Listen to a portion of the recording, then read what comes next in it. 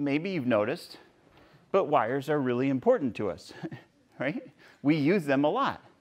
And, and so, you know, you just saw a, a cartoon with electrons. Here's a cartoon that I thought was interesting um, that shows kind of a wire pulling setup. So now this is, there's, there, reducing the diameter.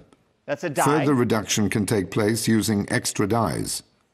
The drawn wire is finally wound on a spool. This transformation elongates the wire. One meter of 5.5 millimeter wire rod can be drawn to 30 meters with 1 millimeter diameter or 484 meters with 0.25 millimeters diameter. Okay, now that is a cartoon, and um, and I think you know it's always good when you see cartoons like this. You know, you don't know. Go look up what the real deal is. What does it really look like to draw wires? And I found pretty cool. So this is an actual wire drawing plant, okay? And this is what it looks like. Now, um, there's no audio here, but I just wanted to show you the magnitude. Those are huge towers that are melting metals to give you this first rod, right? And then it goes through one after the other, and look at it being pulled, being pulled in at some diameter, and it comes out at a different diameter, right? But I wanted to show you the scope and size of this.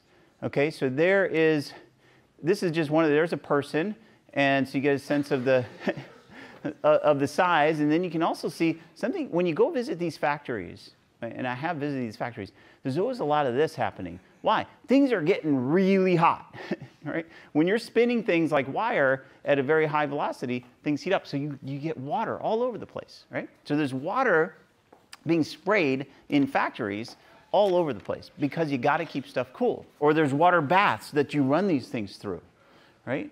And then you got to think about, well, does this thing interact with water?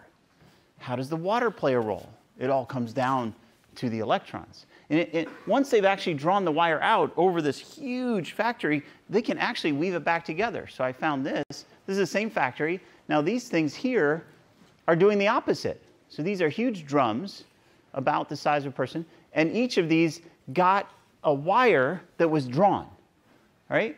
And now again, because of the ductility, you can, you can also move the wires, play with the wires, and you can weave them together. You can weave them right back together into a thread that looks like that, which we all have seen, you know, uh, I think many, many times. All of this processing, all of this manufacturability has to do with the electron sea.